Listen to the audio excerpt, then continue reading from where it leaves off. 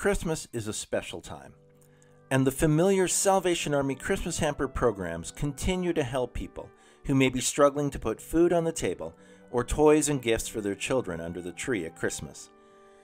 This time of year is stressful, and in the midst of a global pandemic, it can be even more so. For those who are unable to meet their family's basic needs, it can often mean going without. Each Salvation Army Center has designed their Christmas program to support the needs of vulnerable families in their community.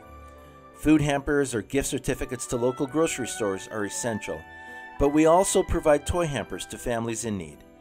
These toys are collected through donations and community toy drives so that families that need us can make sure there is a present under the tree for their children.